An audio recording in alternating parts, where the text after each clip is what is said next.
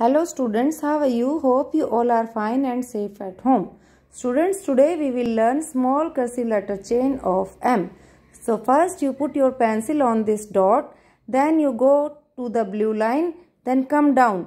Again go up on same line, then again you come down. Again go up on same line, with a curve again you come down. Make a tail but don't lift your pencil and go up again. Then you go up on the same line then with the curve come down. Again go up on same line then come down then make a tail but don't lift your pencil. And then again you write one more M. Let's see. Once again first you start from this dot then first you write one M. Then don't lift your pencil write one more M. Again you don't lift your pencil write one more M Let's see again. First you start from this dot, go up, then come down. Go up on same line, then come down. Go up again on same line, then come down.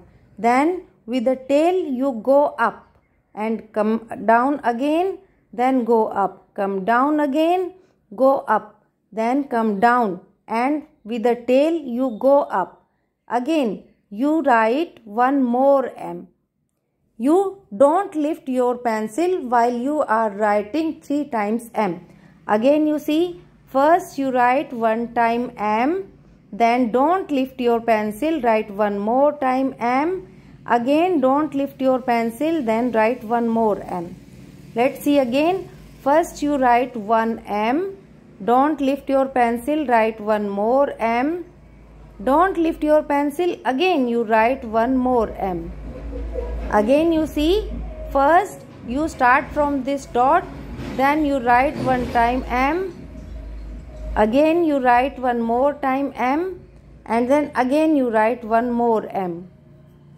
Let's see again. First you start from this dot then you go up come down. Go up on same line come down.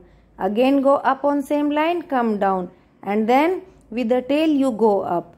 Then again you write one more M, then again you write one more M. Once more you see, first you start from this dot, write one M, then go up. One more M, then you go up. Again one more M. So students, it was small cursive letter chain of M. We will meet in our next video. Till then, bye-bye.